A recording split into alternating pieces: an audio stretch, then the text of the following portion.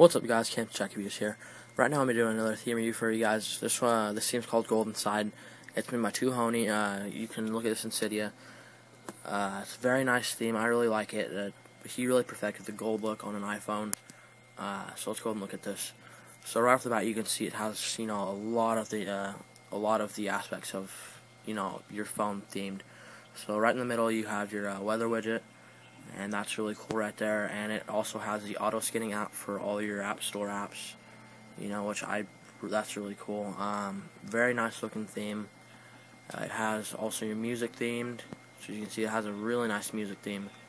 It has your notification center themed, and let's go and look at the lock screen. So as you can see, this is themed too. It has your uh, normal wallpaper as kind of like the middle like background thing, which is cool. And, you know, guys, that's, uh, that's it for right now. Don't forget, comment, rate, subscribe.